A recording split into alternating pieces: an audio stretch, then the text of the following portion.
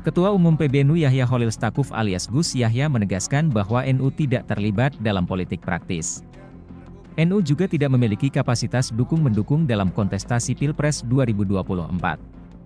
Pernyataan Gus Yahya tersebut diungkapkan saat bertemu dengan Gubernur Daerah Istimewa Yogyakarta Sri Sultan Hamengkubuwono X di Gedong Wilis, Kompleks Kepatihan, Yogyakarta, Senin, 29 Januari 2024 organisasi sebagai lembaga tidak terlibat dalam hukum-hukum walaupun sebagian dari teman-teman pengurus dan aktivis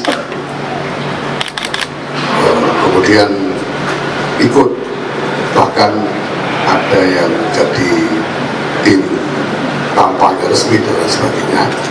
Dan terhadap mereka PBNU memperlakukan kewajiban cuti dari kepengurusan jadi PBNU tetap dalam posisi tidak terlibat dalam dukung-dukung.